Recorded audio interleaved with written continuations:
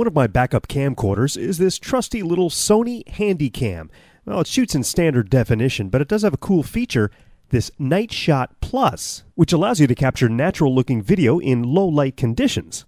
Then I picked up a 950 nanometer IR pass filter. Now, what this filter does is blocks all visible light and only lets infrared light through. As you can see in this footage, with Night Shot Plus on, holding the IR pass filter up to the camera allows you to see through it. I decided to use the most powerful flashlight I have, and it's this flash torch from Wicked Lasers. This thing is really bright. It's like 4,000 lumens. So if we take our IR pass filter and put it over our flash torch lens, after we turn it on, all we see is a slight glow because my HD camera doesn't process infrared light. But believe me, there's a whole lot of infrared light shining through that filter. So I took some air conditioning duct tape and cut a small strip and attached the filter to the flash torch. Okay, now for the real test. Here we are in my backyard at night with the Night Shot Plus on. You can't really see too far with this, only a couple of feet in front of you.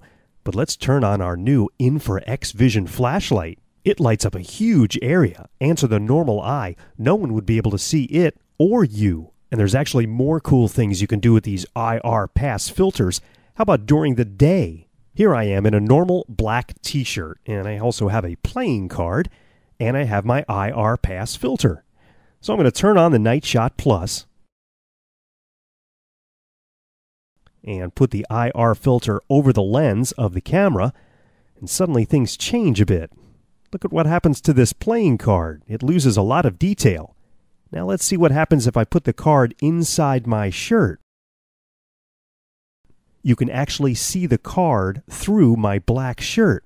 The IR filter, along with the Night Shot Plus, actually allows you to see through things. I also tried a red shirt, and it had the same exact effect. The playing card was able to be seen through my red shirt during the day with my Night Shot Plus on, along with the IR Pass filter. So that's how to make an Infra X Vision flashlight, along with a little bonus trick. For more Kipkay videos, check out my channel by clicking the box on the left, and for more spy stuff, click the box on the right.